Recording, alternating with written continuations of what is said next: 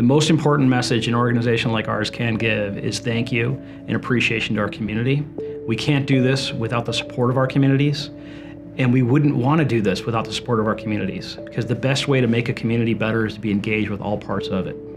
As a, a 10 year therapy team with Gabriel's Angels, with my wonderful dogs Sam and Petra, I would just like to thank all of you who have participated in our first annual virtual fundraiser. All of our donors, our attendees, all the volunteers that give their time effortlessly, all the people that are on our board, our committees, everybody who has the goal of expanding Gabriel's Angels and helping the youth, the at risk youth in Arizona.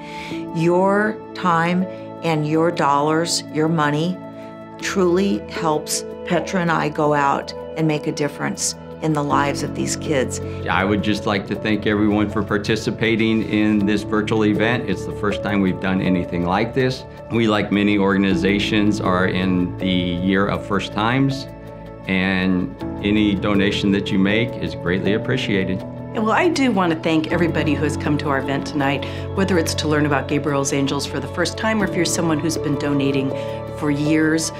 The money that you give, it goes to the programs, it goes to supporting these children and to providing them just some of the services that they need to become the best individuals that they can.